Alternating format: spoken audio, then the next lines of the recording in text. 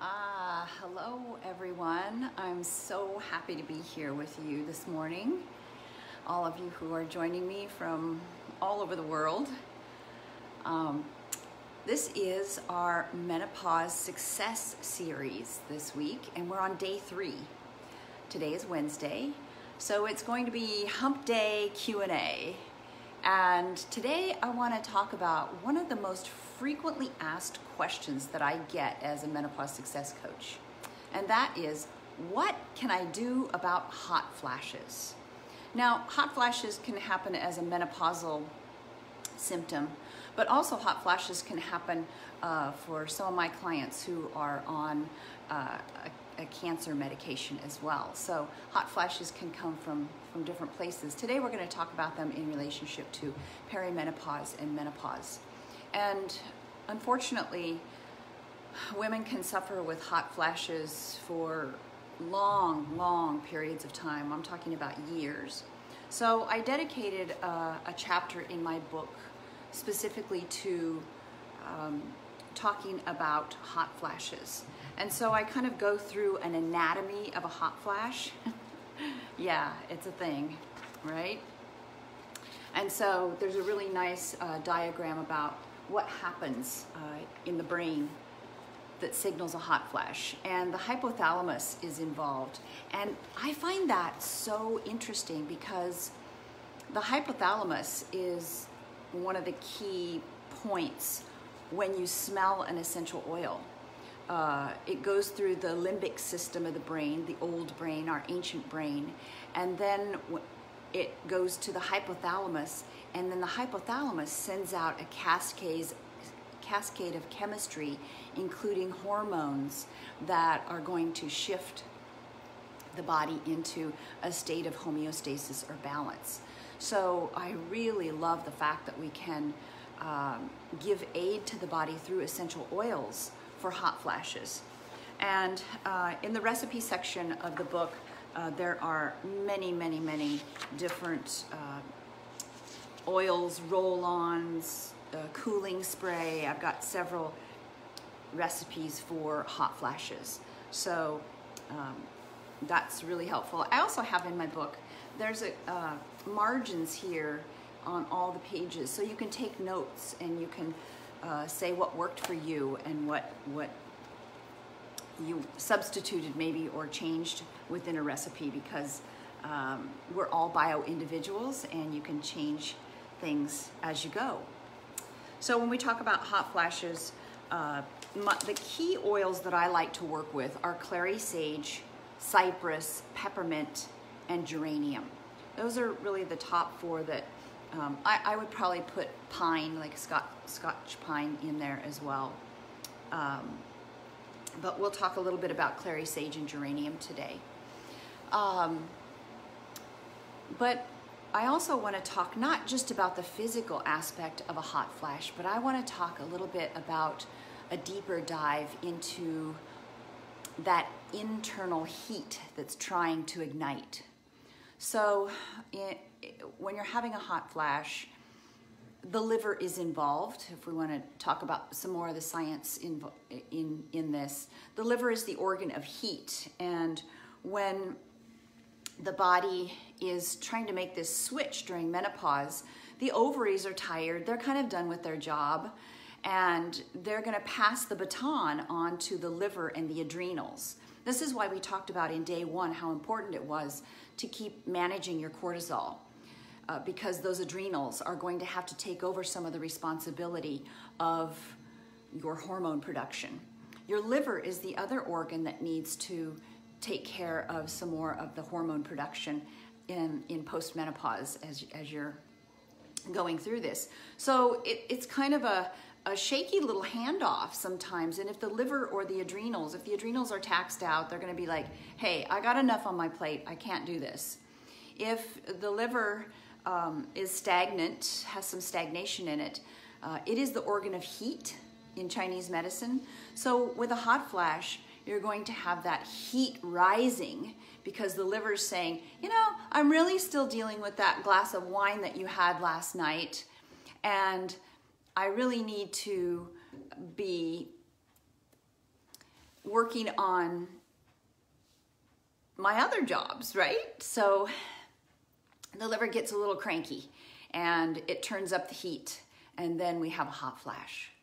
So keeping the liver clean is one of the key things uh, secondary to managing your stress through this time. And I like to, to do several things. Um, in regards to food, I do dandelion root. Um, I, I have a dandelion root latte instead of my coffee and that helps to keep my liver clean. You can do milk thistle.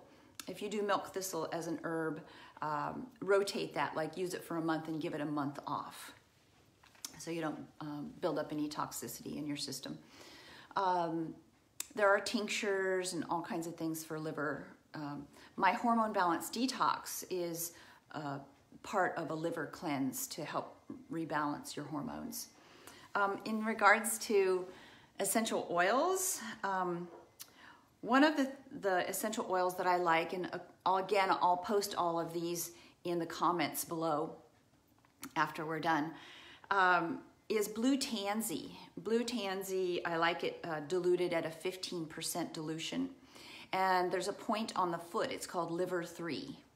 And what Blue Tansy does for liver 3 is to help clear that stagnation, clear the heat, cool and balance. So that's one that I really like to use. Um, when I'm thinking about clary sage, and clary sage I like to have diluted to a 50%. Uh, clary sage I like to put on the sea of Chi, which is CV6. And CV6, think about um, your midline on the body. CV6 is about an inch and a half below the belly button. So we're into that womb space. We're into that area where the ovaries are as well. And so clary sage is so cool. I, it's one of my favorite um, oils and probably the reason why I have clary sage. Uh, my dear friend Patty Breidenbach did a, a watercolor of clary sage. And when I was in Egypt this past year, uh, I was able to go to uh, a field of clary sage and have a beautiful picture taken of clary sage in full bloom. Um, but but clary sage is its innate nature as a as plant medicine is it has this wisdom. It has this wisdom to know I need to bring in. Uh, help the body with more estrogen or I need to move estrogen out. If a woman is estrogen dominant, she can use it. I, I marvel at uh, using clary sage during the birthing process for a woman when um, the clary sage is able to uh, help a woman become fully effaced in order to initiate that birth. It, it's just a beautiful, beautiful oil and such it has such feminine wisdom. I would say that Clary Sage is a wise woman in and of itself. And so, um, interestingly enough, I did not like the smell of Clary Sage until I was perimenopausal. And then it just became this beautiful herbaceous oil that uh, became a, a good ally for me. So again, CV6 that's one and a half inches below the belly button. It's known as the sea of Chi, um, sea of energy, and we can generate some energy um, to clear that heat. Uh, the other one that I really love is geranium rose. And again, that's a 50% dilution. Um, it's a middle note, so its motion is going to be to balance. I think of the infinity symbol or I think of a wave, just this nice wave that it's going to balance you and even you out and help you find that equilibrium. Um, I like to put that on CV8, which is the belly button itself. So in the application that I do often uh, for myself and for clients, I'll take a, a cotton ball and I'll pull a little piece off and sort of make this little snowflake or galaxy, spread it apart put a couple of drops on, on this uh, piece of cotton uh, geranium and then just place it gently in the belly button and I'll cup my hand over it. It feels so good. This point is known in Chinese medicine as Spirit Palace Gateway. And I think of this wise woman journey that you're on. And this is one of those gateways into becoming that wise woman. Uh, it's going to help you balance um, hormones, estrogen, progesterone, uh, but it's also going to help balance the hormone insulin. And it gives us back our sweetness for life. And we all want to be in that sweet place where we feel like we're being honored, where we're seen, where we're heard, where we can feel like we have purpose and be productive. Whether that's just within your family, within your career, within your community, wherever you find your place, it's going to help uh, give you that sweetness that you're looking for in your life. So, geranium rose is another really good ally for me. Um, so, I've given you three points today. Wow. Feels like we've covered a lot. Um, I do have a, a, a course online. It's called Aromatherapy Your Gateway to Happy Hormones. It's just a little five part course and it kind of gives you some overview um, and an introduction to using aromatherapy for balancing hormones. And I'll post that link below. It's on my online school that's Waves of Change Wellness uh, on Teachable. I'll post that that link. But let's talk about this little this this deeper. It's a kind of a big subject. This deeper, you know, what what is it? This internal heat of hot flashes. That what is that really trying to ignite within you? And so many times when we're having this hot flash, we just want to suppress it. We just want it we want it to go away. It's uncomfortable. We we don't want to be in that moment. But really in those uncomfortable moments in life in general is when we're really given the opportunity to learn the most.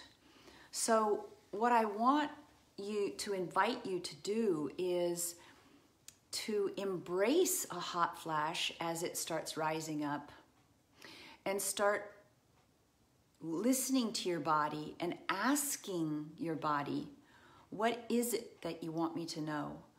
What is it that you're trying to show me?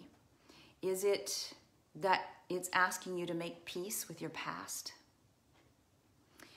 Is it asking you to reignite that fiery passion you had for art or writing or teaching?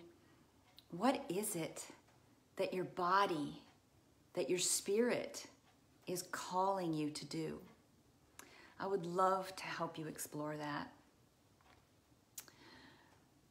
So, journal about it. Again, like we talked about yesterday, taking these things into your dream time. This is your opportunity to learn from your body, to sort of um, recreate your future and what you want that to look like as a wise woman.